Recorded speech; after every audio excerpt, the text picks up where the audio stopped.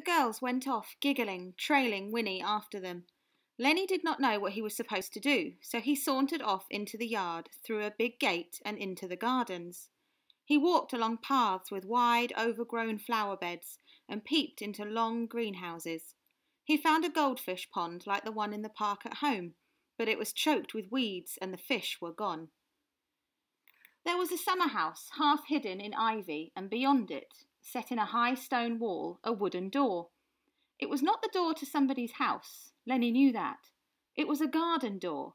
He remembered hearing somewhere about a secret garden that was locked up for years and years, and nobody ever went in. Cautiously, he pushed the door. It creaked open. Inside was a little garden, like a room without a roof. It had crisscross mossy paths lined with knee high hedges and stone seats. It, in the centre was a great rose bush with trailers that swept the ground. It was very quiet in there. Then a bird flew up with a great clatter of wings, and Lenny saw something on the far side of the garden, high up on a pedestal by the wall. At first he thought it was something alive and watching him, but it was too still to be alive. He went over to it. It was a unicorn, carved in stone, just like the one on his medal.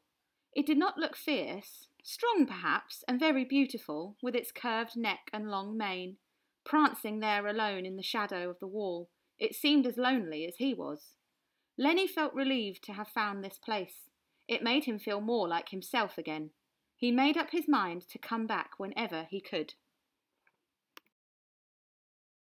On Monday morning, the evacuees started at the village school. The children were not friendly.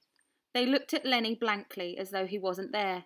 When the bell rang for morning prayers, Lenny had to stay alone in the classroom, sitting at a desk. On the playground, Joyce, Patsy, and Winnie all went off together. Lenny was not included in the boys' soccer game. He stood by the wall until it was time to go home, clutching his dad's medal in his pocket and pretending he didn't care.